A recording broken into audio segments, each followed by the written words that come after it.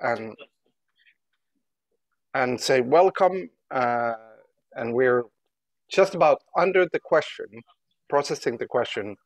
If one sees a messy disk and says to oneself, "I have to organize this," what does the word, the verb, organize mean in that context?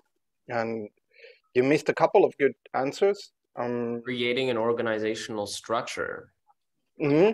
Yes. So, I mean, at least, I mean, I'm looking at this first part, and I mean, it, it seems a gosh, a lot like what we were talking about just now with the, mm-hmm. um, you know, like uh, the filter, like a playground as a as a place where games are played, with a filter as a scope, you know, with capabilities that allow you to construct the, the filter. Yeah, intentionally placed it you could even say I organize it in the background because it's kind of already saying things. And if somebody starts to read, it might affect their answer. So this is a mm-hmm. situation I organized, and I now intentionally use the word organized, of course. Um, so, but I, I, think all of these answers that you gave, uh, gave are kind of, for me, pointing out that the word organized in that sentence is kind of a rabbit hole. Like, how deep does it go? It's, it's a very simple sentence. I have to organize this. But it goes to remove the extra extraneous, like Jeremy said. But then what is the principle that says that something is extra extraneous? It's a, it's a kind of deep ontological question. Could be practical, but can go as deep as one, one wants to be. And then Martin's examples go goes to almost like ontologics of semantics, semiotics of um, of the organization and then Leo brings in structure, which once again like opens uh, another element of this rabbit hole in itself.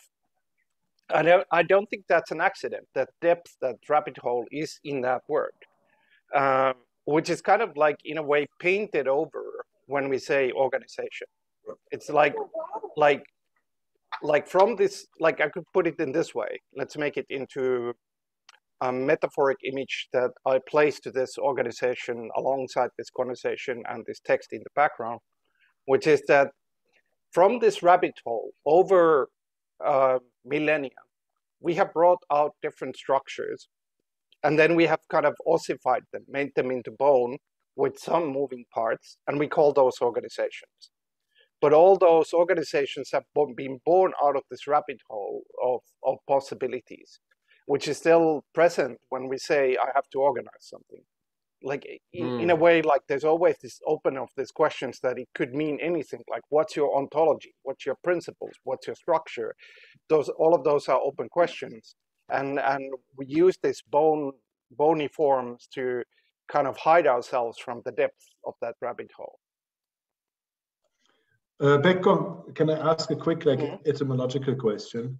You can make that move um, I have always used this kind of uh,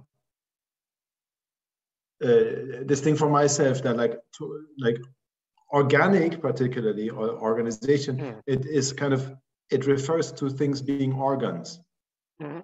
right yes. So like that's i think where the kind of ontology sits like what is a thing and what is not a thing basically what jeremy also said what's the extraneous like so and there you yeah you're you're straight on ontology.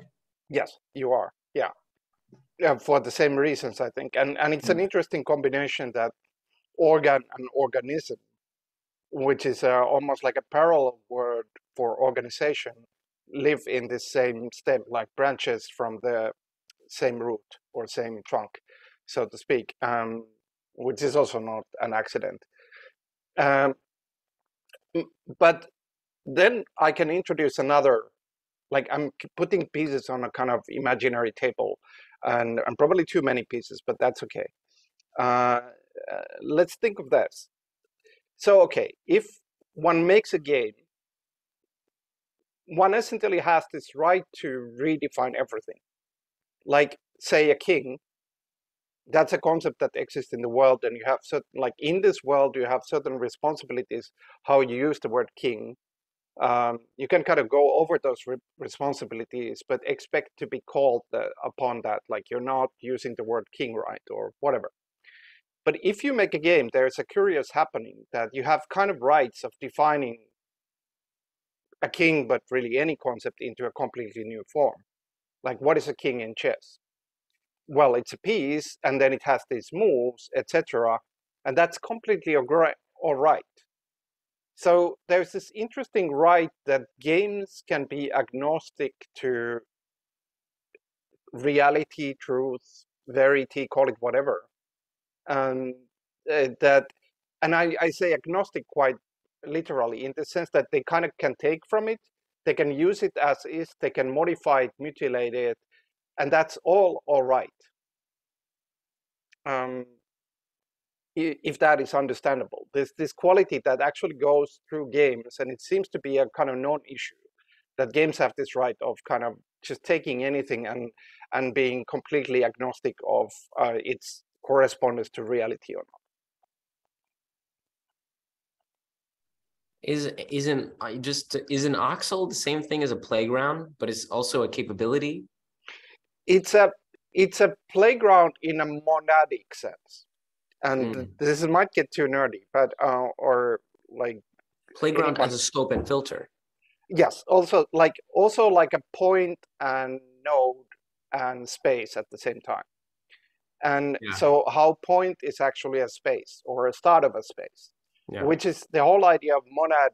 I'm now talking in Leibnizian sense, uh, mm. that the Leibniz, like, for some reason, people still have a problem with why Leibniz is saying that the monad is the smallest of the small. It's smaller than anything that we can see as small, and it contains the infinity. Mm-hmm. Like uh, this is supposed to be a paradox, but there's nothing paradoxical about it because monad is inherently perspectivic. That if if you set a point from where you look at the whole world, it contains the whole world.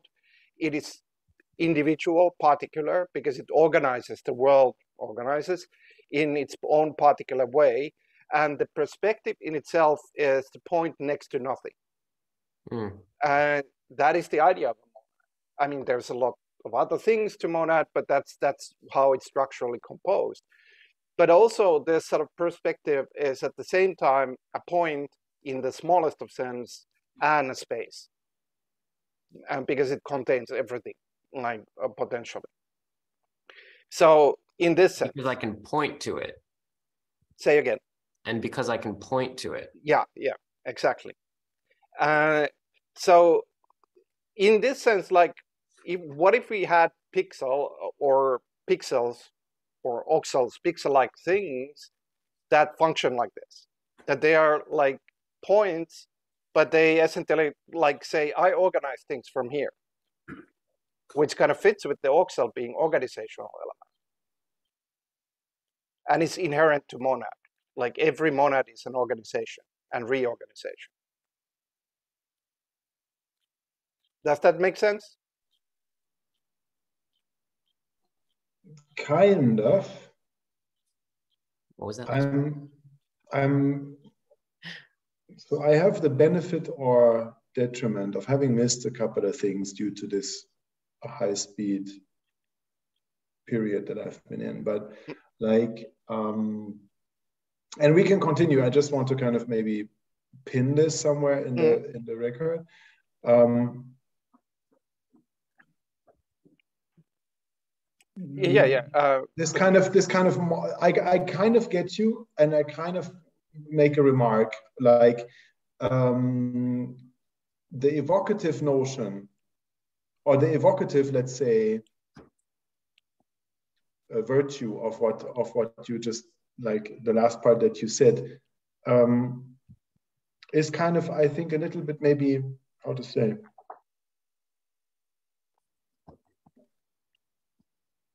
it's already suggesting a certain type of structure, which other kind of terms, you know, would possibly also enable, mm-hmm. while kind of, you know, um, being of a little different materiality that they, you know, yeah, hint at. So like that, that I just because you can you go to monad and uh, and and and and maybe that's the comment that, that I'm making that. Uh, that's a that's a thing that's happening already Yes. That's a choice. That's a choice right now. Yes. And it kind of it pulls it pulls a it pulls some type of a carriage be, behind it, and and you know where there could be other things to be pulled. Yeah, I agree, and this is why I kind of like precaution the monad with nerdiness, like because it's both a good descriptor, but this is not going to be or trying to be authentic to monads in Leibniz sense. It's just like a where does the structure exist culturally? Well, it exists in Leibniz, although maybe it's telling that it's one of the most misunderstood and underutilized part of Leibniz because even mathematic monads don't really do exactly that. Uh, and not that they have to, but nevertheless, like some of these, like the kind of extremeness of the monad has been somewhat lost. And the possibilities that come from that structural extremeness that Leibniz was proposing, um, which I think is interesting. And it's interesting for game design and game architecture. Um, which is something I'll come to. Maybe maybe I'll make a practical example. So, so let's imagine like a almost like a snapshot, a complete fragment inside a game quotation marks called Oxel. And there somebody had defined reading, like just the word reading, which is a cultural monolith, like uh, present everywhere but they, they're using the right of the game of being agnostic to meanings, like the king example. And they're defining reading as um, a, a, form of a puzzle, uh, a form of puzzle construction where each word forms a jigsaw piece um, that is used to build a mental image and then there is a whole paragraph about the mental image, which is like it's not necessarily a concrete image, etc. But it also suggests some forms that some people build this into actual images and see pages like like when they have read a page, they see several pictures in their heads. Now, through this, I have redefined reading and uh, and also set a new practice towards all the text in the world. And but it in it in itself the act is quite modest. It's just like I defined reading as jigsaw building, and I defined words as jigsaw pieces, and then maybe I build practices about this building out of uh, building out of jigsaw pieces. Um, and those practices become their own branches. Maybe somebody starts doing them. Um, so that's a very modest act. Like it could be written in a normal text, it could be written as game rules. Doesn't really matter. Um, all of those are possible. But in itself, what is happening there is a redefinition of culture that somebody could take upon.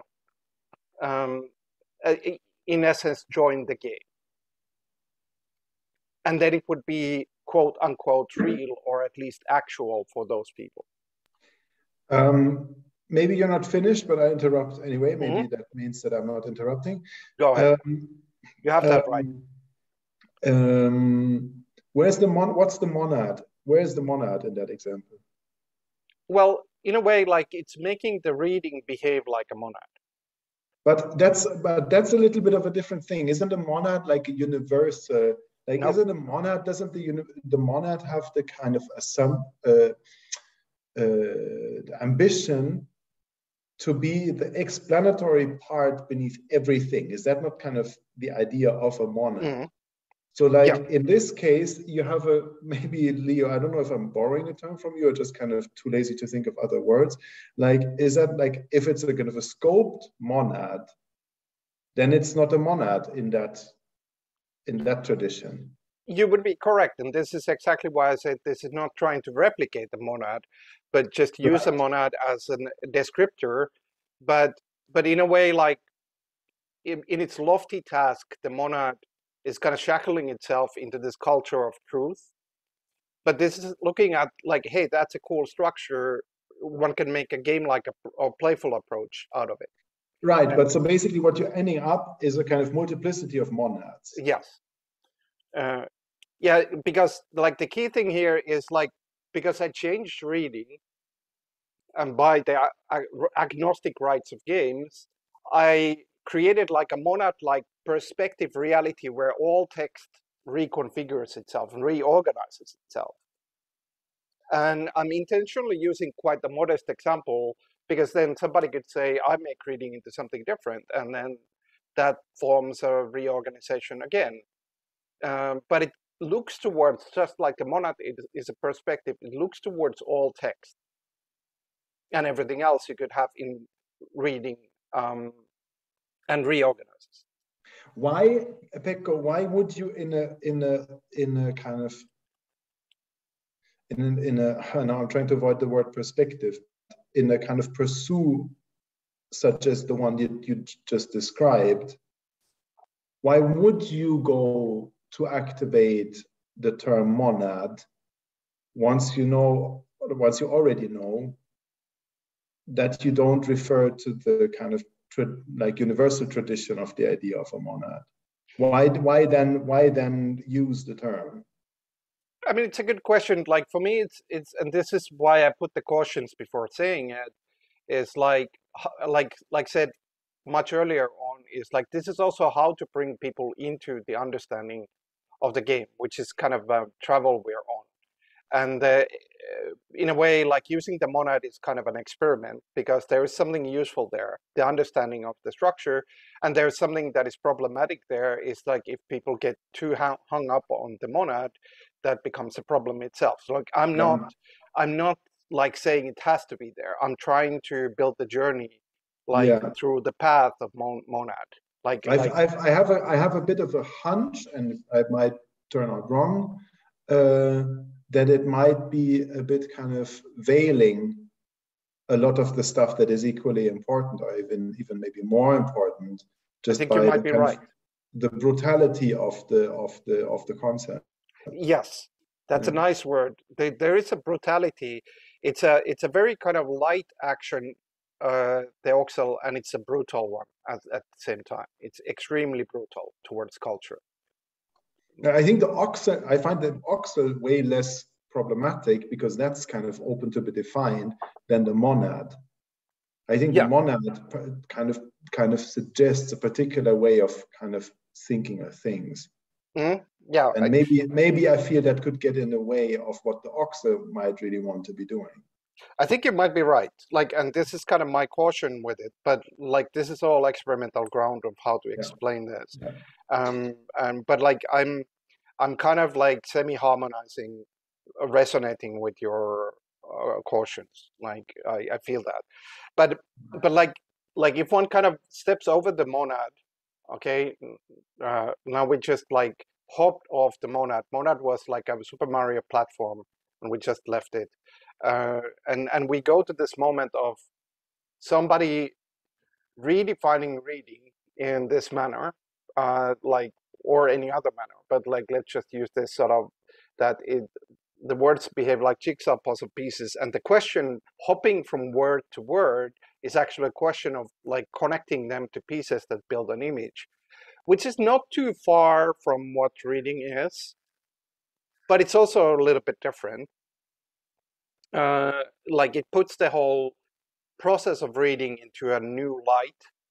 Um, like, like in that moment, like I, I think Martin's word brutality is is fitting it's because like the brutality partly becomes from this right of being agnostic to reality. It's like I have the right to redefine reading.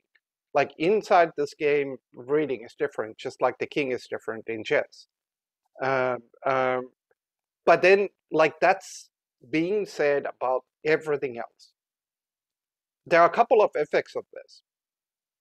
Uh, first of all, like if you follow the cascade, if you take that attitude and you take that structural possibility, all the culture turns into material. Like in, uh, if you were to make an art piece and then there was a storage room and there was stuff and that would be your material, you kind of can treat the whole culture and all its output in the same manner. Um, that is like if I, I, I can take any thing I create as an oxel it can be much more complex um, than the reading. May, maybe with reading, I define uh, further practices and kind of grow that, or define something else. But all of that is really treating like all the structures that culture has made as just material, like meaning you can chip off pieces from it, you can wrench it, you can change it, you can put it in a new configuration. All of that becomes possible. Does that make sense? It was funny. It was funny. Sorry that I'm just no, talking. no, no. Go ahead. Like the beer is helping. Um, it was funny that you um, that you said um, you made it to, into something different than reading than what reading is, mm-hmm. and isn't that a bit like uh, uh, almost kind of forgetting what you just achieved in a way? Uh, because I mean, we spoke about the word is obviously mm-hmm. earlier. Yeah. Because basically, you now it's a bit up for grabs what reading then is, right? Mm-hmm.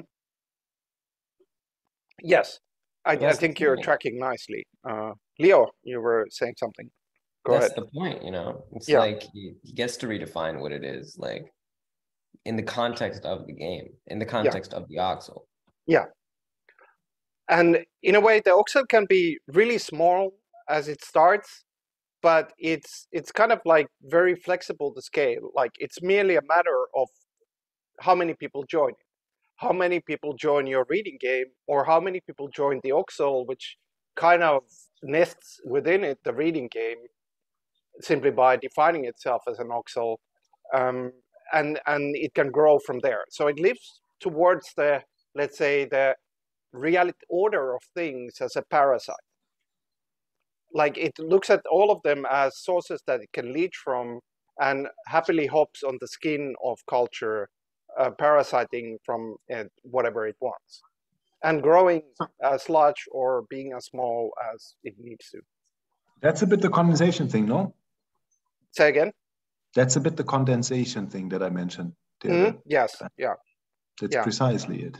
Yeah. So, so i might define an oxel as a norm Mm-hmm. Yeah. Um, and uh, and in the context of the game, I I might define an oxel as an intentional norm.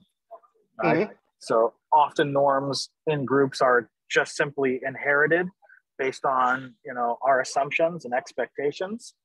So in the context of the game, if I were able to to offer an intentional norm that was taken up um, then that would I, I, could see that as being something um, interesting. Anybody else? I like that. I would say also you could say norms as art, even though even that is too limited. But, but all of them are kind of your definitions, and norms as art is a way to describe it. Nice one, both. Like taking the artist attitude towards norms as a medium is is is one way to think about it. Which kind of it what it does it kind of unlatches a certain cultural hold up point which is the fact that i mean on some level we all know that every norm convention structure from justice to how do you go to cafe is an artificial thing it's our creation. So we're living on fiction. But then at the same time, we have this attitude that, like, as a convention again, um, that how do we should approach these uh, norms is somehow trying to hold them up. You know, like we say hello in this manner because we've always said hello in this manner. Like there is a kind of traditionally of how do we maintain the structure itself, um, uh, and how do we maintain these norms. So what this does is like introduce this gateway uh, wormhole to go in. Now you are in a game called Oxel. But what it, it flips the switch of like, actually, yes, everything is artificial, but we start to treat them as just designs, as an attitude. They, they're not there to be shielded for the sake of shielding, but they are just material. Like, oh, that's a cool design, just like the metaphor of material in the storage room for you to build the in installation, like or your system of justice or way to behave in a cafe or say hello is material for us. A uh, couple of things, if I may. Mm -hmm. So first of all, you had in the beginning of this the question like, how do you get people to join mm -hmm. this game? Kind of to me, it's almost like uh, it's a bit of a kind of infection mm-hmm. like because like now for the ones who are here and kind of we are kind of so far primed that we you know follow the conversation and, and to at least some some kind of meaningful extent um, it's already happening right we're mm-hmm. already we won't be ever not playing that game mm-hmm. you know I'd, kind of lest we'd be occupied to some crazy extent, like I have in the in the past week, where you can only think about execution, which is the most horrible thing that you can do. So basically, maybe that's the kind of degree of freedom that is needed to kind of let people play in on that game. Yeah. Um, the other thing that I was just thinking, I don't know if it makes any sense or contribution in this moment, is that one could think of this as a kind of a bit of like a synaptic training. So like any any um, concept that or like any term mm. image, whatever we want to now say, uh, element that we bring up allows for different uh, kind of continuations or, or additions to it because of the shape that it has and because of kind of how those uh, interact with kind of other pre-existing um, as, uh, expectations and so forth. So like in the sense like as we're kind of condensing toward uh, the step of reading being this jigsaw puzzle thing um, it's mainly kind of a kind of a synaptic training that that becomes the thing that we're kind of more used to muscle wise like brain muscle wise mm-hmm. than other things. So this kind of repetition thing and yeah yeah yeah. Yeah and I, I like that kind of direction. And in a way the game is a framework for you to get into this synaptic training. Because i mean games change behavior even chess to use that same example because it's everybody knows it. What it ultimately does, it actually trains your synapses like to think in chess. Like even the beginner chess player has to start thinking in chess to be a chess player. And, and like that's the kind of once again this sort of interesting rather powerful aspect about games is like they're ultimately about who you are or how you are uh, like chess is about a kind of a person you become to play chess, but you could say that from any game. And this is kind of tapping into that power, but then saying, okay, we actually are conscious of it, so let's utilize it. Uh, like that, that the game gives you the framework to kind of like to retrain your synapses in the sense of giving you the power to create an oxel, giving you the power to invite others into the oxel, which then can strengthen your oxel, which becomes a reorganization point perspective monad of, of um, uh, reorganizing the culture itself or its material.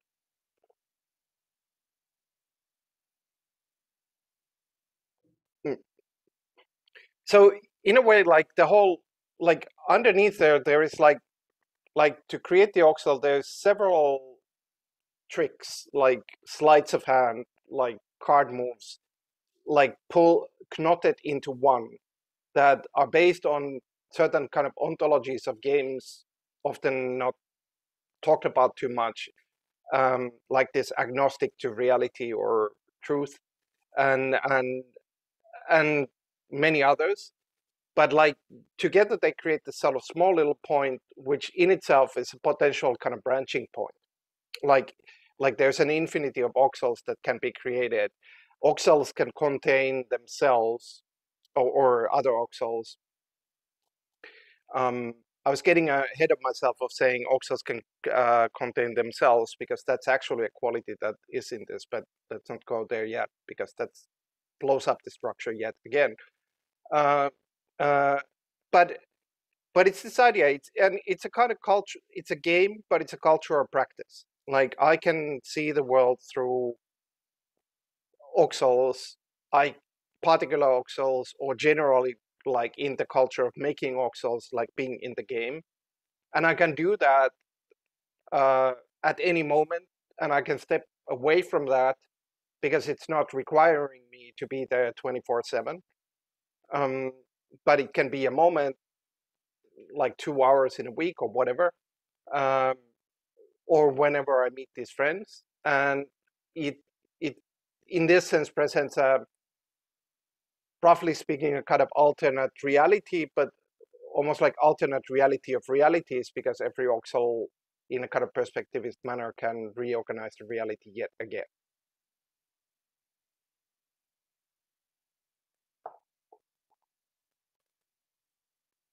if that is sensible. Uh, if it if it can lose itself also, then yes.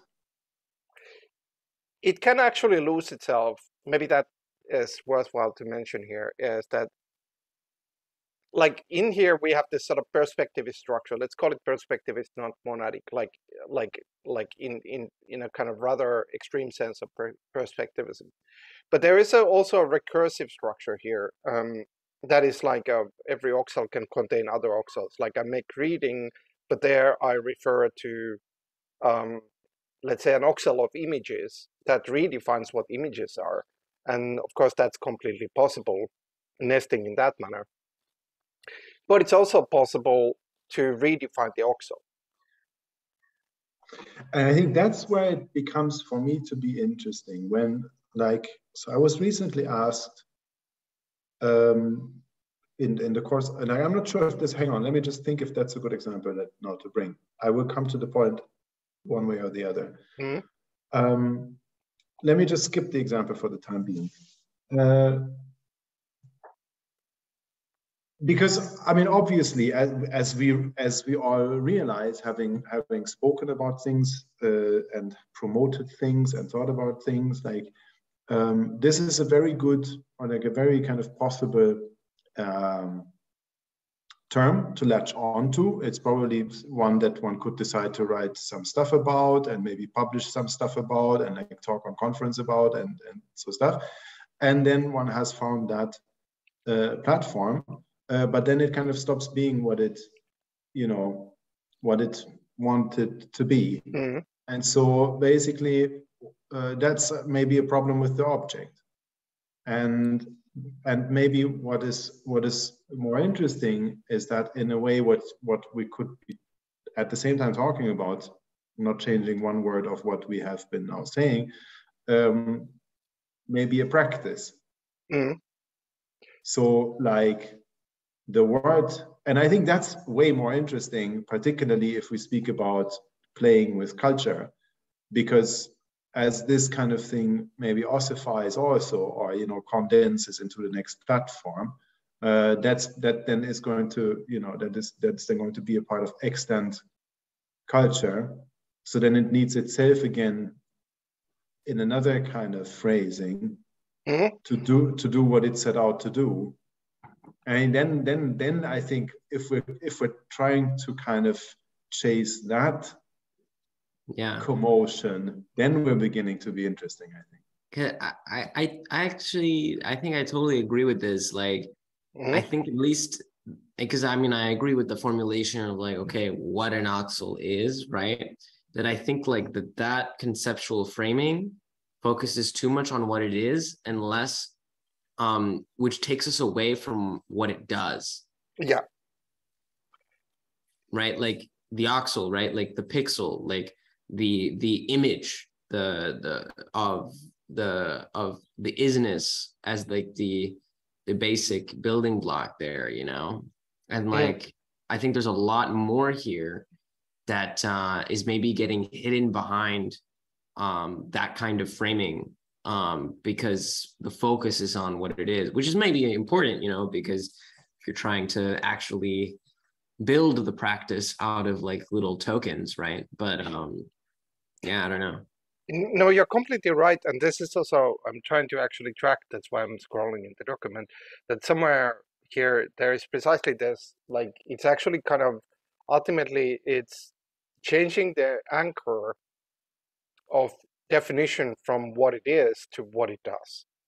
Um, uh, awesome, yeah. Uh, and th- this is also relates to that you like if you treat it as a recursive system and mm-hmm. a recursive structure. There, there are actually kind of nerdy but interesting qualities about recursive dimension on recursive spaces. And one of them is that recursive spaces kind of tend to eat themselves, which is practically that oxel can redefine itself. Like you can treat the oxel as an oxel. Um, and that is kind of actually logical in such a system, but it's also a quality that in, in itself is interesting here, uh, is because it's, I'm, I'm not saying it's a magical miracle pill against the cultural inertia that Mar- Martin is describing quite well, and I agree with. Uh, but it is a structural uh, aid towards that, like that the you can redefine the oxel itself at any point, just like you can redefine reading.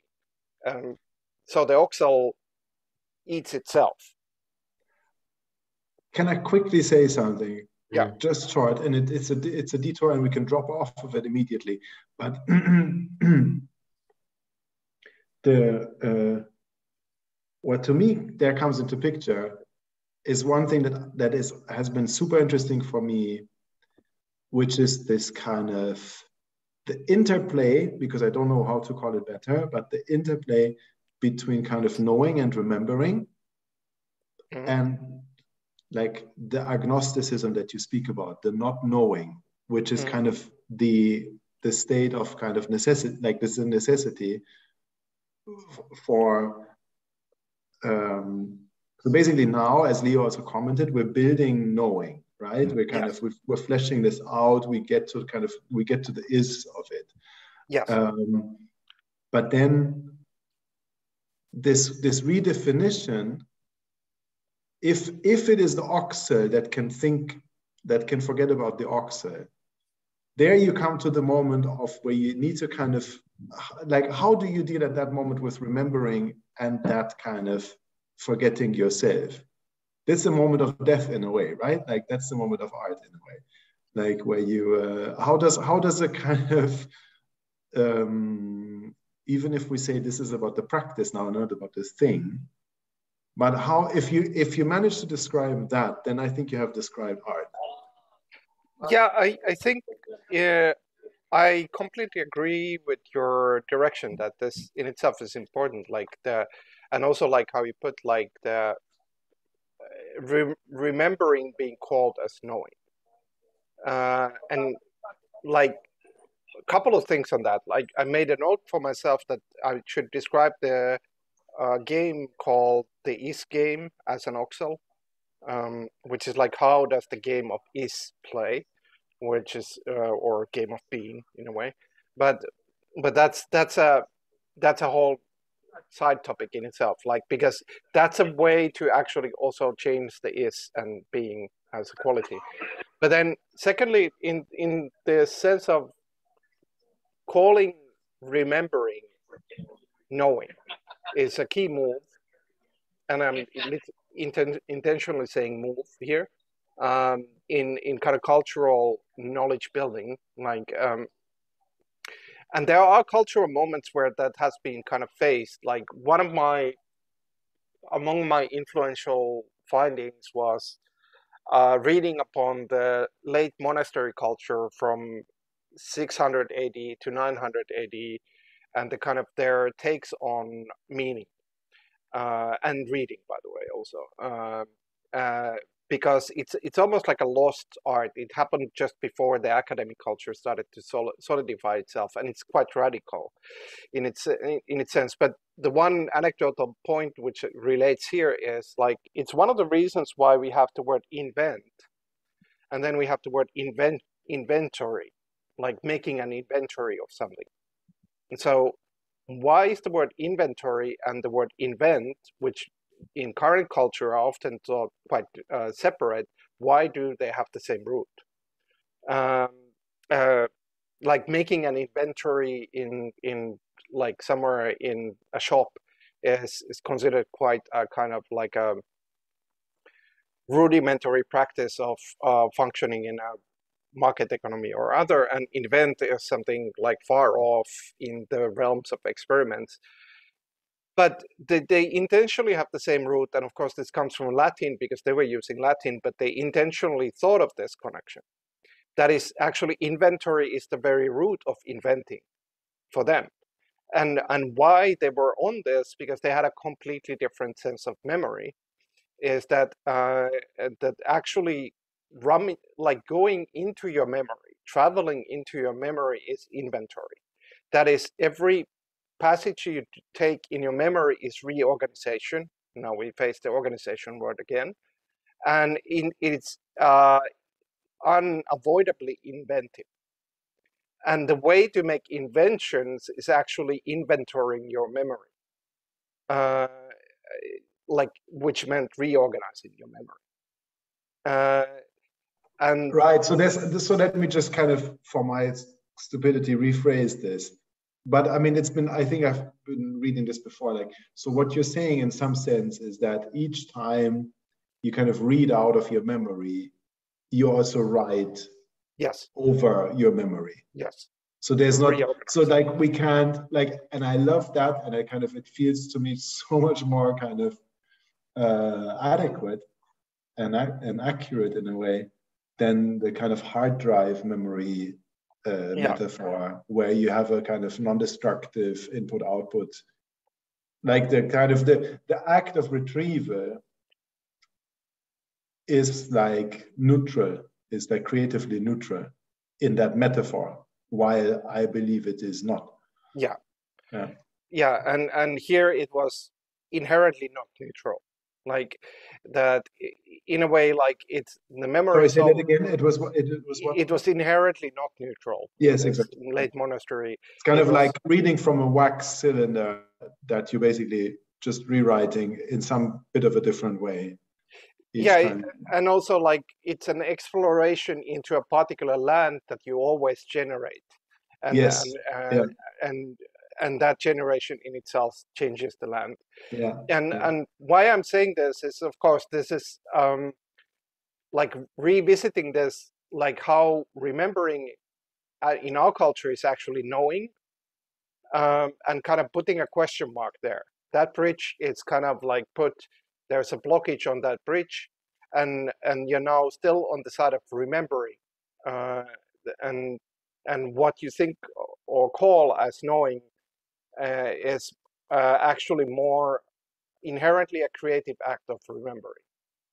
um, and this is reflected in the culture i'll stop this nerdy dig into the late monastery culture very soon but i mentioned this part is that their usage of memory is inherently different. Like they use memory also as a term of for the future. So it has all temporal phrases like that you can say, I remember X, and you might be talking about future. Um, uh, uh, and which is kind of like um, a certain consequence of this pathway. Uh, uh that what you're doing is you're actively organizing towards something in order for it to become a future. So how they read, I mean, this is monastery culture. They they were reading Bible.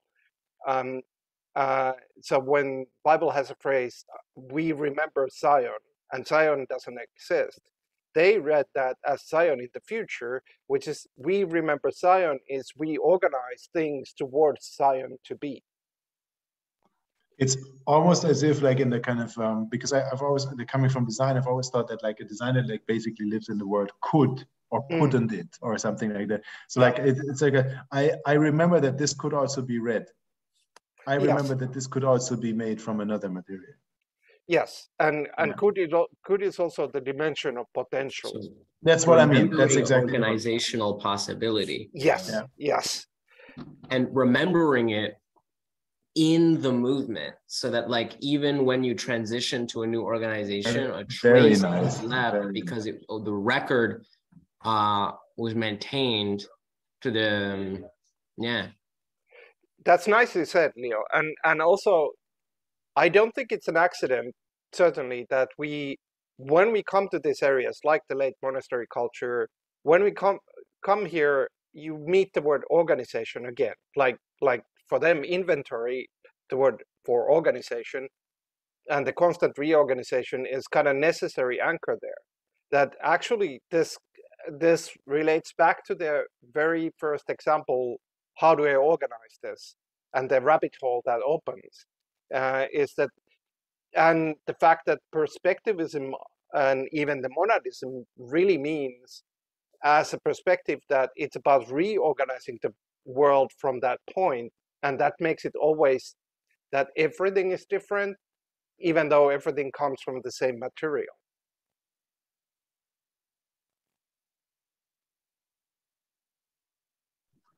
I'm going to come back to this idea about remembering and the risk that sort of exists in the in the oxel. Mm-hmm. So if I forget that I'm inside of a thing that is designable, then I'm I'm sort of stuck in it. Yeah. Right? If, yeah. if whatever it, you know, we're sort of building these these layers that sort of like teeter and wobble on top of each other.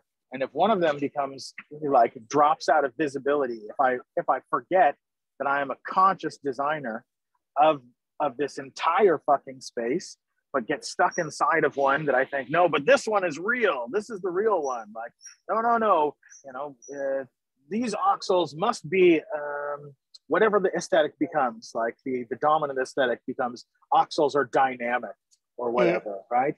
And then we start playing only the game of oxels are dynamic, and we forget about oh no, but there's actually a whole additional parameter that we could sort of change that that actually starts uh, exploring the design space for stability. Yes. or you know any any any possible parameter set. Anybody else? I just want to say that i love that you that you um, approach this in like by bringing in that this is to to a, to a, to a substantial degree an aesthetic matter Mm-hmm. I really, really like that because I think that is kind of uh, highly, uh, highly on, on like highly uh, at stake. Like, how, Jesus, my language is leaving me. Um, that's a kind of like high alert layer to me that we forget about. That the aesthetic here plays a massive role in kind of you know mobilizing or not these types of structure structural imaginations. And you're both uh, and I thank Jeremy for introducing this. You're channeling a particular, I think, seven or eight pages long rant from Nietzsche, which is for me maybe the most culminatory Nietzsche text, which is the truth and fo- on truth and falsehood on in an extra moral sense. There's a couple of different translations. Sometimes it's of truth and falsity in an ultra moral sense. But that particular text, it makes a few points, and one of the points is uh, uh, like how to construct truth as a form of forgetting. And it's exactly saying what Jeremy is saying, is that to, to, to come to become truth, the tragic of truth is that it requires forgetting that you are in a construct. And and and that this. Hey, becomes, please, sorry, say the title again, please, one more time of truth and falsity in an ultra moral sense, or another translation of truth and falsehood in an extra moral sense. But you can find the German, and it's really like seven, eight pages long, and it's it's one of the most brilliant texts that he ever wrote. I think. Uh, so we have to smoke J's. Yes, also that. But but but for Martin, Nietzsche also introduces the dimension of aesthetic on this precise point on the in the essay. And kind of from the angle you're coming from that that there is this aesthetic but then the tragedy of humanity is that it has to forget in order to have truth to have structure. Uh, and then he compares that to a spider whose reality becomes its web and it's uh, like the web is its tool and enables the spider but it's trapped by its web which is its own construction of reality in itself. Um, uh, it yeah, like I said, it's a brilliant text. But on this point, I thought about it, is that like yes, we need construction, and staying in the point where nothing constructs is another kind of tra- tragedy. But there is a point here, which is that games allow for construction. They allow for, let's say, we actually keep this structure underneath us. We accept the structure now being our basis. And they allow for structure in a very interesting sense. It's just like, let's play with this. Let's accept this. This, this is our game, which is both committal and no, non-committal. It's, it's, or it's committal and insincere in a way.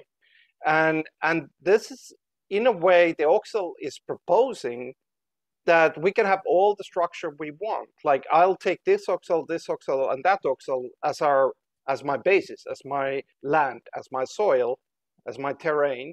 That's completely okay in games, which allows for construction, but it puts the construction in a different sense. It's not anymore the war of truth, as Nietzsche calls it, of uh, like a king of the hill battle of uh, that we can only construct by having this eternal battle of truth, um, but rather we can construct anywhere, and those bases are then considered in the sense of what they do, but they can be an infinity of hills, not one king of the hill battle.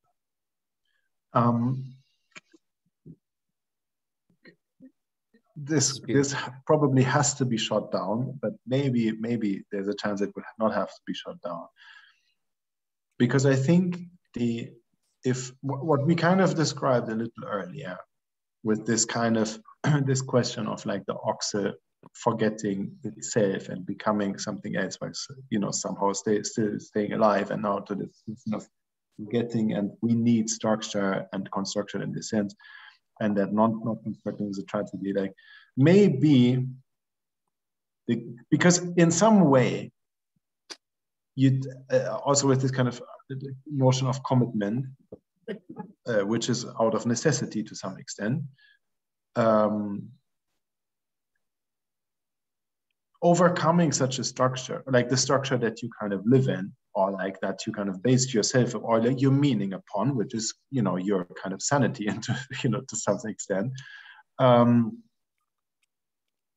reforming that uh, or like standing at the threshold of that being reformed uh, is a little is, is a rather existential mm. uh, would be a rather existential moment mm. right and i think we're kind of facing that moment in many you know in many many ways at this you know at this in this age um, but mm. maybe then gaming this kind of and now i use the word kind of almost in a technical sense this kind of exercise you know mm. exercise like practice, practice might be yes well i also mean exercise kind of in this kind of physical like you know building up labor kind of thing what labor no like training Oh, okay. Yeah, yeah. I get. Yeah, yeah. yeah. Like That's work nice. out in like, but work in more than out. Like, um, maybe that is the bridge across that death to some mm-hmm. extent. Yeah. Uh, it's a little pathetic the words that I choose, but I hope you see. No, that like, that was a. I I thought that was a brilliant perspective. Jakub. Perhaps what, what um, Hey, happy to have you, Jaco. Hey, hey, great to see you, Leo, again. So just what you were said, saying, Martin, and also relating back to um, this kind of uh, X on memory and kind of inventory. So uh, what it brought to me, the association was that when I was still like studying psychology stuff, and there was this approach which was called coherence therapy, which I found to be like one of the like really more interesting ones from uh, all the from the whole palette. But one of the concepts that they were working with is memory reconsolidation, um, and also relating it to like emotional memory consolidation.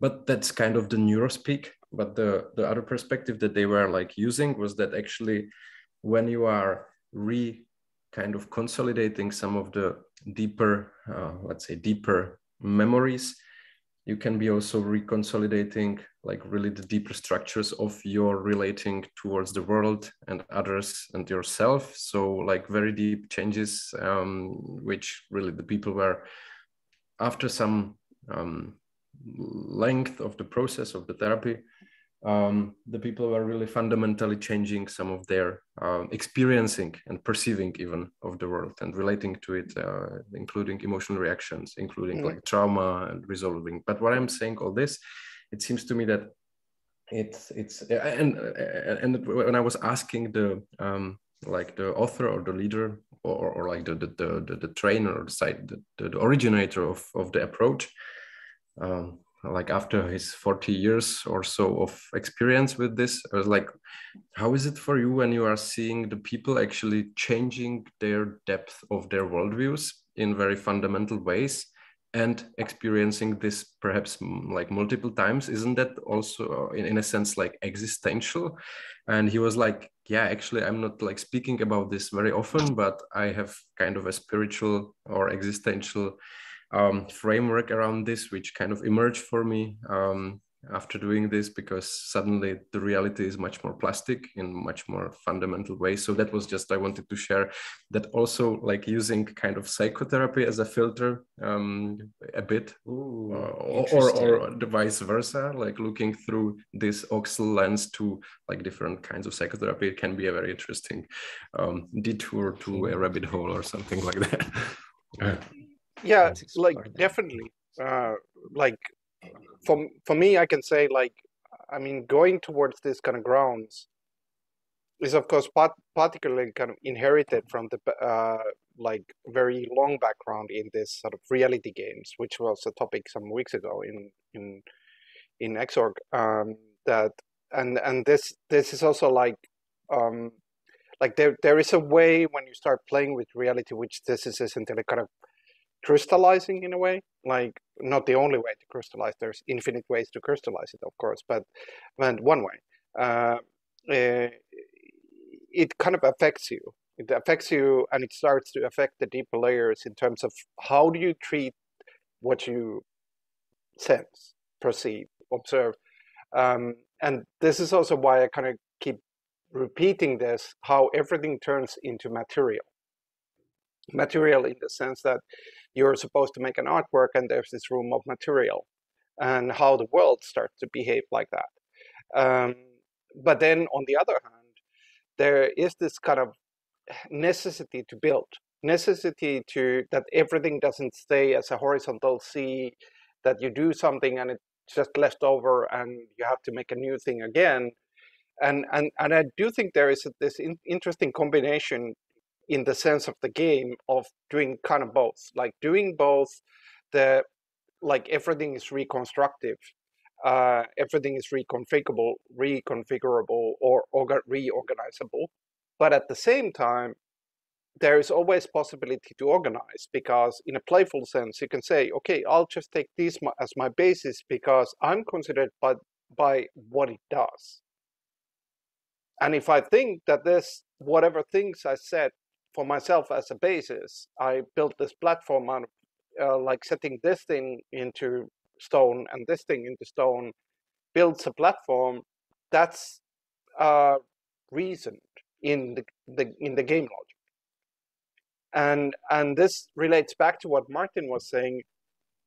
It's not a magical pill to the current situation of call it post-truth, whatever, but it, it, it is a proposal of a structural yet playful mm. approach to it. Well, it's it's it's a make it's a like it's a kind of productive coping mechanism.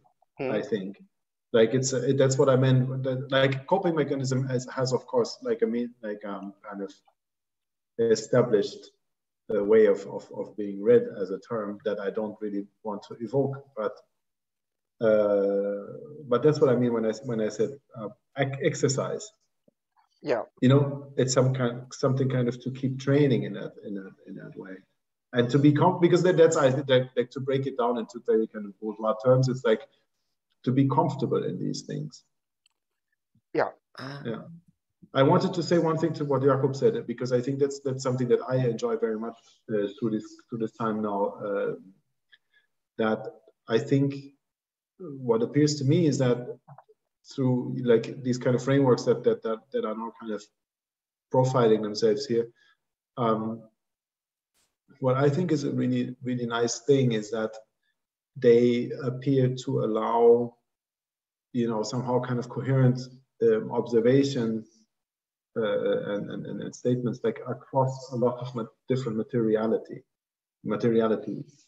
You know, you can go from, you know, symbolic uh, like constructions that you made up due to certain whatever trauma type, but you can also just go flat to kind of physical material space. You can go to, you know, other types of um, exchanges that, that occur and you can kind of still work with the same uh, framework. I think that's a rather powerful thing.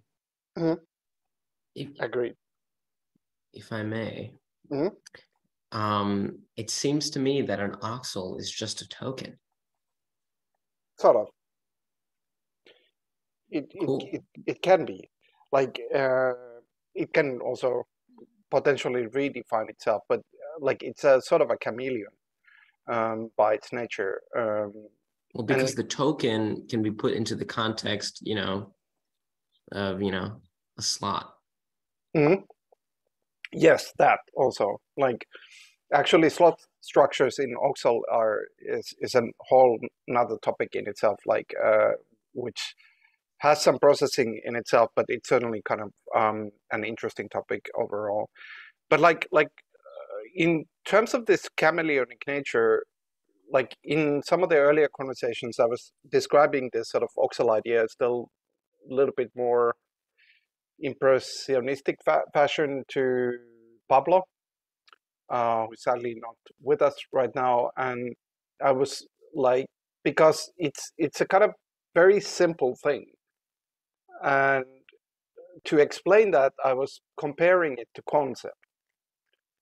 That it like in a way it's a cultural take that is setting itself on the same level as a concept is um, but on the side of it and this is kind of apparent in the fact that if you look at the definitions of a concept they're quite uh, fleeting quite minimal they're quite bad or, or, like quite lacking in a way um, and and it's every time somebody tries to redefine it in a more comprehensive sense, it sort of fails.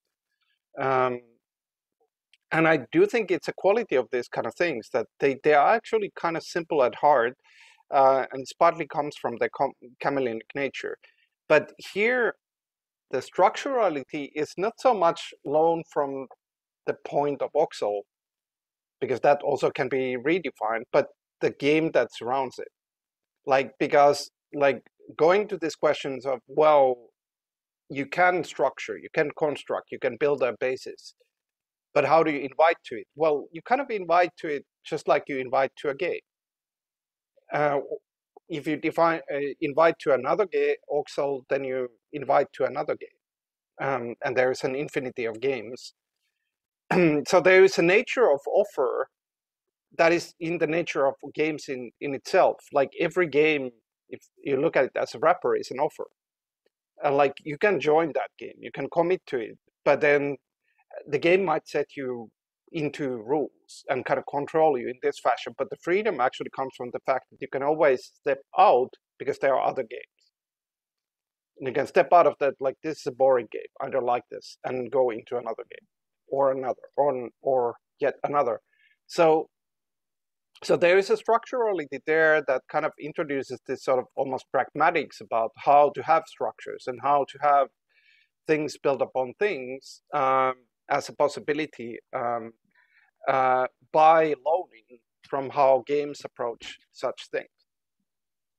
That that's um, I mean the the capability of game shifting then I think uh, becomes uh, super relevant there and defining mm-hmm. it like um you know like within like a certain distributed network of an organization not arriving into a dead end where a distribution of rights even if the memory of the past isn't here something keeps me stuck right because if if you give away the capability to shift then I would have to start a new age. Yes. Yeah. Uh, and that, yeah. Which would be just to respawn, right? Like yeah. totally. It can be just a respawn, definitely. can I? Yeah, yeah. Okay. Maybe that's the answer to the question that I didn't ask yet, but I could maybe retroactively ask it. Like, how do you organize loss of memory in, in a digital context? I I actually here I I've been trying to summarize what like you know the different things people have been saying in the context of memory, um, and so I, I got a little something. Um, the the change of the distribution of rights into a new scope is recorded on the ledger. That way we can remember the potential of organization because as we move through to new structures, the transformation of structure is recorded on a distributed ledger, such that if we forget, which is the condition of a new truth's unveiling, um, um, meaning to, whether by choice or otherwise, temporarily suspend doubt and the fear of forgetting in an existential leap of faith, into the new context of a new situation, a new playground from which we can unleash truth through play, Lacanian play. Yes, and history in itself uh, is just an oxel. Uh, it's every history contains a logic. Like you create history by setting a logic of retaining, and how those retain things relate to each other like uh, create the ghost the ghost yeah. of history. And and this is actually apparent in things like bitcoin. It's it's like a completely artificial logic to have a history in the manner of the ledger of blockchain. But it also points out that history is always constructed in itself. And and this in itself is it's it's part of this potential of construction as well the history and how it functions. I need I would really, really like to respond to Leo, but I would have to hear it one more time in order to do. But I have to ask something else before. Choices. Go ahead. Like, I, I, I made up my mind yeah. because I forgot the other yeah. side. Um, how can uh, how can a non how can ox how can an oxel be something else than uh, an equivalent of a concept? Meaning, how can an how could an oxel be a, a pre-conceptual or non-conceptual thing? I think it is a concept, man. Hegel all the way. No, but like, like I mean, I'm dealing in, I'm dealing in some part of, of, of you know the, the practice universe where where the things in between are really the things that you're kind of that, that are that make what you want to be at in some sense. And and in order to be concepts at a point at some point before that in which whatever direction time now flows they need to not be concepts. Like right now it's it's we we, we use we, we we move in the in, the, in this in the kind of track of language and we say oxel can be history can be an oxel fine i get it's kind of i understand that the same way that reading can be an oxel or what you know or subject of an oxel one should maybe say.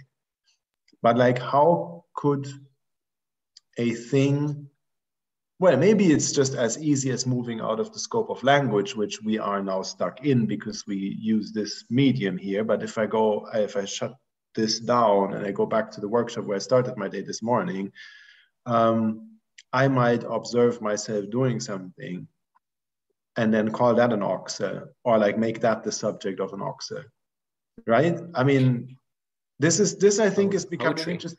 no. I mean, like, I, but but but I mean, can it then be kind of because oxel is also in that way it it kind of um, advertises, so to speak, a way of how to deal with itself, with the oxels, like connecting them, making part of a new kind of conversation as a kind of, you know, micro society game in a way. But can that, can such kind of pre-conceptual, um, uh, you know, content, so to speak, uh, can be treated with, with the same kind of in the same kind of lo- like mechanisms as the pre-recorded mm. on the ledger well do you mean pre-recorded meaning like not recorded? pre-recorded as in it hasn't been recorded or Yeah. yet, or maybe it never will. It's outside of the scope of that which maintains the And so this is interesting because basically the- you just yeah. said you, basically you just said it's outside of the scope. So it needs to be translated into something kind of expressible slash recordable on chain uh, in order to be treated with the kind of logic that we have been developing over the past kind of hour or something here. So what happened? What are those? What you know? How can how can the Oxel kind of perspective or idea apply to things that that that are necessary in the process that the Oxel kind of suggests, but not capturable in the kind of uh, exchange economy that we are using here. I, I, yeah, I hope. Yeah, Pekko to go for it. Yeah. No, no, do do say I could go after.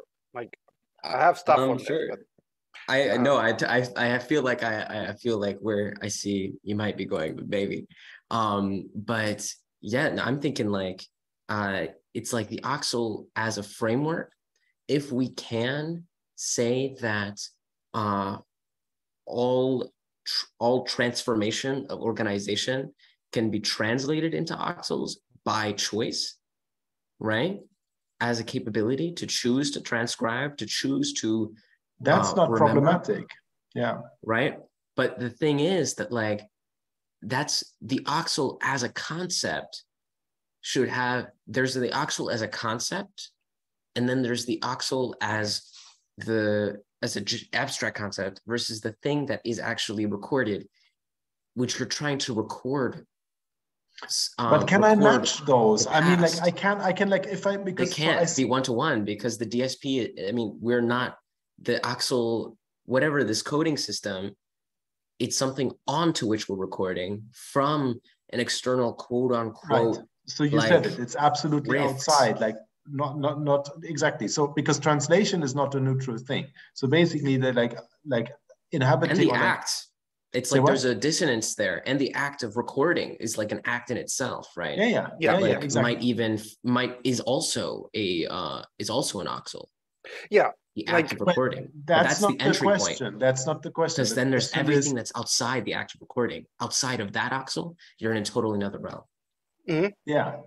This is, but this is a little curious, right? I mean, if if if if Oxel makes the claim of being, um, as you said, Pekko, you started this like to make like all of culture, uh, it's limited to the conceptual realm, isn't it? no, wait, wait. Okay, uh, I thought about this a lot for a long time. and uh, through different takes.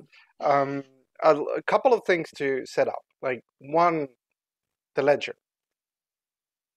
You can always say the oxel could be set to a ledger, and kind of hold on to that could.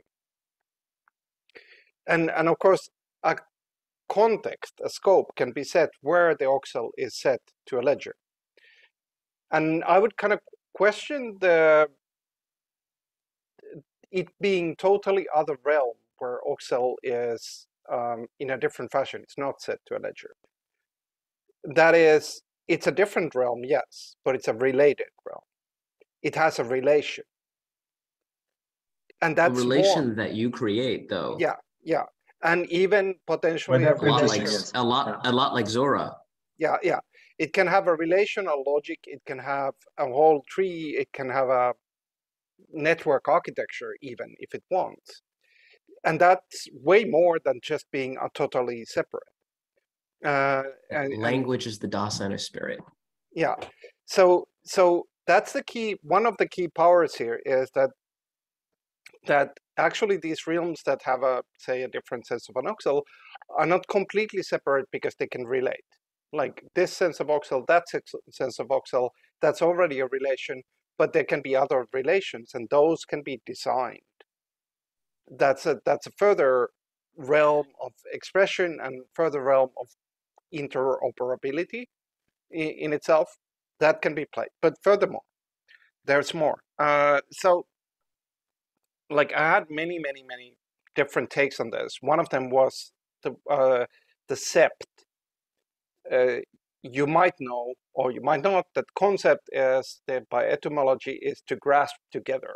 Con together, sept is a sort of a take of capere, which is to grasp. Uh-huh. And uh, uh, which is a nice word in itself. Like, uh, and uh, I like actually the sept, which is almost not used in English, and not much even in Latin as as a concept itself. Like the sept, as as kind of a meta category for concepts, because of course it would mean that like concept is just a sept. But anyway, um, but uh, I Oxel is kind of take on this area, but a couple of things that I would categorize as strategy towards concepts. And strategy is a key word here. Uh, is that first of all we have set a couple of things already. One of them is that the game realm has agnostic relation to reality, and concepts are dependent on reality even for their own existence. So that in itself allows for parastructures. You can make an oxel out of the concept, like it's certainly within the game rules, so to speak. But uh, it's it that relation of being agnostic to reality allows you to set para realities all you want. Uh, and allows you to say that concept is this, but it also allows you to say that oxel is parallel to con concept in itself. And it also points out this quality of how parallel is almost like a parasite. Um, that like Oxel actually doesn't have to, it's not in the king of the hill battle, going back to Nietzsche, because there can be infinite amount of hills. It, it doesn't have to topple the concept.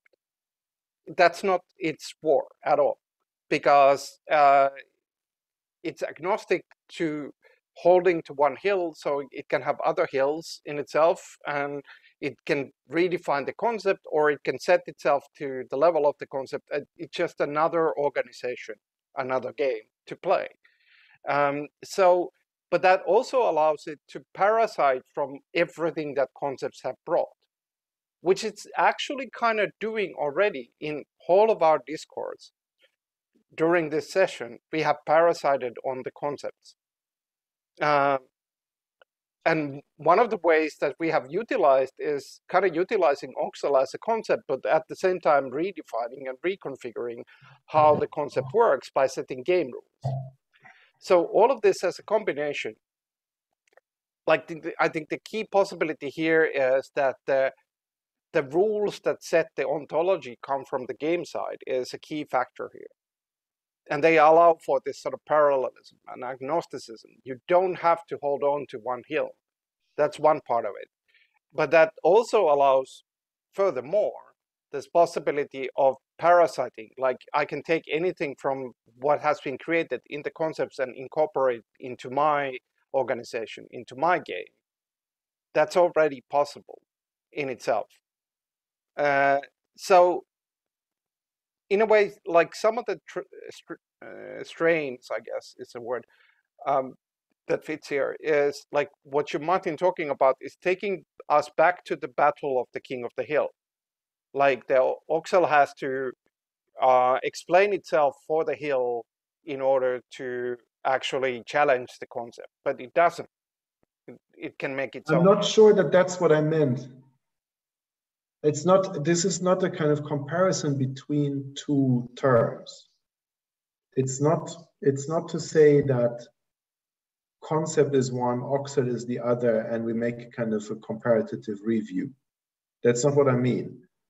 What i mean is that we're trying to understand certain things or like you know we're rehearsing or like playing with with the with the idea of understanding certain things by way of what oxel what an oxel could be the problem is that, like the problem that I wanted to, to kind of get to is that that can be done only with things that are already in a kind of, and now to avoid the word oxel, uh, the word, sorry, sorry, the word concept, that are already kind of in a linguistic form, that have, which is to say that have been translated, wrapped into a very particular logic, uh, particular also because it's English language that we're using, etc., etc. Um, But there's like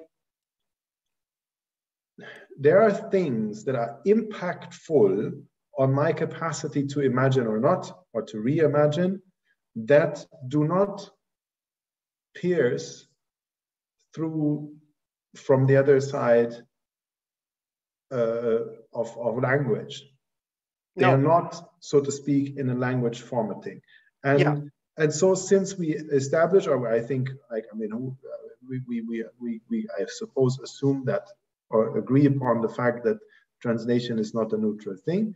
Um, that's a kind of that's where the kind of boundary of the Wirkmächtigkeit, of the kind of um, applicability of Oxel would appear for me to lay. And that was my question what to do with, you know, um, observables that that are outside of this of this linguistic contour oh yeah okay that's that's another question that in itself is interesting like because and and so just to add for understanding this is not like an ideological kind of fun here because these are impactful on transforming my conceptual domain mm-hmm.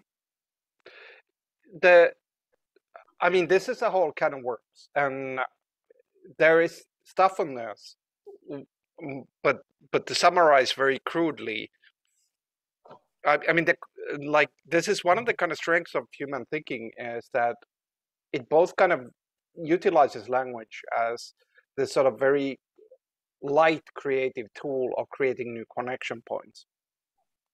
But at the same time, those tools of language don't just refer to language, but they refer to anything with sense, any form, like sensible or non-sensible, just even a thought that is you cannot put a sense form to it can relate to a concept like quite literally create a relation with it. So the conceptual is not just language. Um, and this in itself offers a kind of a power here is that um, well so that's what i'm saying right that's exactly yeah. what i'm saying in other yeah. words that's that they that they impactful relate upon each other mm-hmm. yeah and but it means that the Oxel is likewise is not uh, limited to the concept of language uh, or the uh, scope of language as well. It can have the same, like uh, like if I describe an Oxel that is relating to uh, physical world, whatever, that's completely possible. Of course, here the language is a great instrument of creating them, but of course it's not limited to that. You could make an Oxel that is simply a picture, like that's that's completely possible. But but nevertheless, it shares the same um, media agnosticism as concept does like uh, like concepts of never agreed with that since we began talking i don't believe in media agnosticism but okay continue um, i mean uh, that's a whole another question but like I, I'm, I'm i'm not saying that it's not affected by media it utilizes i'm saying that it ultimately always has a door open to connect to any media mm. uh, which is a different thing yeah. Uh, so but in this sense like uh, concepts, while often the kind of their realm and their battle, to use Nietzschean terms, is is language against language, battle it out, like go to the ring and fight this concept against that concept. But nevertheless, mm-hmm. like beyond that, they they are connected to potentially everything, and that is kind of they're actually dependent on that. And this same possibility exists here, like in the kind of look uh, point of Oxel. Like it's not dependent on only language, although language is a great way to utilize it because of its flexibility. But it's not like that it's only in that scope. Uh, so yeah, like that's. Uh, I mean, these are some of the thematics about what I still would call like strategy towards concepts.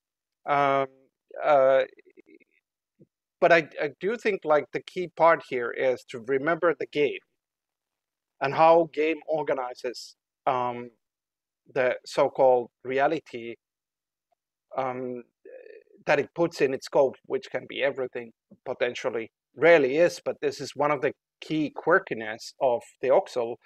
Why it's also it's kind of like uh, very, very fundamentally a game and also very different from games that generally conventionally exist because it says everything is a uh, the game board, everything is on the board, and uh, that is an interesting quality of its own. I would like to play with that. I, I, I would like there to be some form of parameter, some form of like this question that I think Martin you dropped like how do you organize for forgetfulness in a post in a post blockchain world is really mm-hmm. interesting. So yeah. how do you set how do you set mm.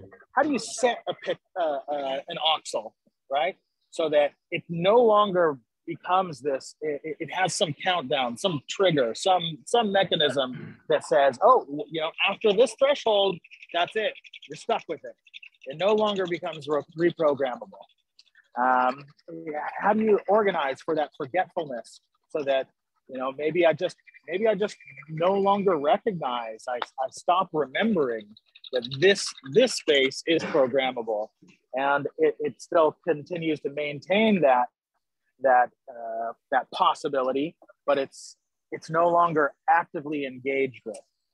Um, so uh, this this has been an interesting ride, uh, gentlemen. I got to get the fuck out. But I, uh, I think we're finishing, and I agree on the ride. The one thing I would say to you, just to your questions, how do you organize for forgetfulness, is the answer to that is a designer's answer, which is essentially infinite ways, but that as then it's the question for design. That is like the infinity is not neutral that the designer's task is actually come up with ways that then do things like are not just is but do things. So how do you organize for forgetfulness? You come up with a structure that organizes for forgetfulness that do does things in a fashion that tailors towards the interest you have for forgetfulness. Uh, because every but that's isn't that is sorry isn't that going, going to be a little difficult? Because i mean like now you have these kind of dao things where people find in discords there are back channels you know reserved for like key members. And so like basically you run up against power. So like there's this isn't there also this issue? Like when you try to program for that you need to kind of take incentive and motivation into account because you kind of have to like lit, like how to say consciously this kind of forgetting has a different okay it comes from the from another side doesn't it i yeah. I, I, think I, maybe... I, bring it up i bring it up because i think it's a very interesting challenge to design mm. for there's yeah. like there's there seems like at my first glance my intuition is that there seems like there's nothing in the landscape that's going to make that easy or automatic and mm-hmm. because of that particular challenge i go oh okay all right um, so, um, mm. windmills and shit. Well, Jeremy and Martin, like one thing is, in order to get towards the end, it's useful not to open huge cans of worms at the point when we should be ending towards a closure. But there is a lot of stuff on this, like, uh, and the, there's actually kind of takes on this precise topic on the structure itself. But what I would have to open is this sort of can of worms, what I call the claim model of truth and verity, which is the uh, which is a whole how truth behaves like an ecosystem. Um, but what it's actually replicating is something that could be recreated by game structures. That is like every truth mm. is actually a question of um, uh, becoming part of that truth, like committing to it, like, uh, and that's its actual behavior itself, and uh, which is kind of like joining into the game. Um, and this is, of course, becoming. It's always has been the case, but it's becoming apparent in our current so-called post-truth culture that we are actually dealing with everybody committing to something uh, uh, sort of actively, and this has been hiding under the carpet of broadcast media, which was able to like broadcast enough of con- um, consistency, consensus to hide that fact, but it, it was always like that. But then that leads to this sort of like um, that if we are these sort of islands of commitment, um, and islands being different um, configurations, there is another way of looking at it. If we can cannot get rid of that, then we can look at those islands as games, um, mm-hmm. and that allows us at least recognize the reality, but turn it into a question of design, which then opens a huge amount of can of worms, but with some brightness in the horizon. Let's put it that way. If, um, if, if I may do like a quote dump here uh, that I think is super relevant to everything that everyone's saying and might be a good, you know, end of the thing. Yeah. Thingy. Um, so I'm thinking about like, you know, what everyone's been talking about and like how oxel and like in the self relation of oxel to oxel, self relation of concept to concept as it like transforms through whatever, all of that stuff. So this is like a good little paragraph of that, I think. Um, self relation is the formal condition of intelligence, but only when it is steeped in the negativity of reason does it become an engine of freedom for which intelligence cannot exist without the intelligible, and the intelligible cannot be conceived without intelligence. This essential correspondence, intelligence, intelligible, uh, like the the outside game reality mm-hmm. to yeah. the intelligible manifestation of it as an oxel, as oxels. Um, That's a nice. This catch. essential correspondence constitutes the truth of intelligence, without which it is an empty thought. However, this correspondence is not given in advance and is never fully totalized. That's what we were saying. It is a labor, a project. Mm-hmm. Accordingly, treating intelligence as something that simply comes out of a black box of nature or technology is an equally empty thought.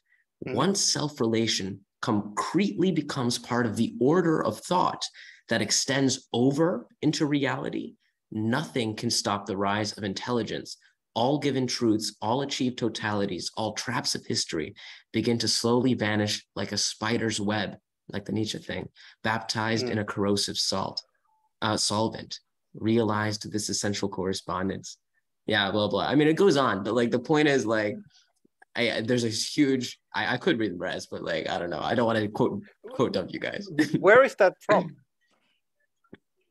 um, it, this is like uh, on intelligence and spirit. It's like uh, Hegel's phenomenology spirit oh, and science of logic recasted through artificial intelligence. Can you can you post that even to XORG group? Because it's a it's a great quote of like isn't there looking at okay if this is the condition the human condition call it whatever uh, okay what can we do constructively with that? And in a way oxel is an answer not the answer because there's no the answer but uh, and constructive answer of what are your tools then? Like given this what are your tools? Um, what kind of tools can you can have you could have and and this is kind of um, a certain horizon certainly present in this current discourse uh, and and and kind of paint that text that you read paints that horizon quite nicely so post it definitely hey, yeah what you're saying I'll, I'll too I'll, it's I'll give you a thumbs up yeah so if you make the move, I think your move towards ending was great. Uh, this is a good ending because you're kind of bringing certain horizon closure. You're painting a sun in the sky. That's great. Um, we can see the horizon that you're painting. And I can give you that if you make the move of posting that quote, then I can make the move of giving you thumbs up uh, Telegram points. Um, for that. Let's forge that reality. yes, yes, exactly. That's an organization we can set here. Um, but but this is the this is the rabbit hole of organization we jump into, and and that's what opens up from there, uh, and how it's kind of present here, like throughout as a thematic, is interesting and then what can you do if you introduce the possibility of games as a structuring element, as a designer element, as a composable element? And that's what this direction is meant to open up. As another well move, do say. You were saying hold well on. done. Well done. No, I was okay. saying well done. Good okay. Move. Yeah. Uh, yeah. Uh, and towards making a move towards the end, I really thank everybody here uh, for this extremely splendid discourse, which I think for me captures why entering this rabbit hole is interesting. It's not even about this particular shaping of the rabbit hole, but it's actually why it's taking uh, us to directions that in itself are fertile. Fertile for something that is culturally reflective, but at the same time, uh, reflective in terms of tools, instruments, possibilities of construction. And this is kind of what the whole point is like to get towards those directions. And of course, it's the point of this little tiny thing called Oxel, which is a gateway to some places. And I do think we en- entered some places here. Any last That's words? fascinating. Thank you, everyone. Places entered me, that's for sure. Thank you Yes. very much. Indeed. And with that, uh, shall we find an ending? Uh, I will, towards ritualizing the ending, I will stop sharing the background board, the game board, and then I will press stop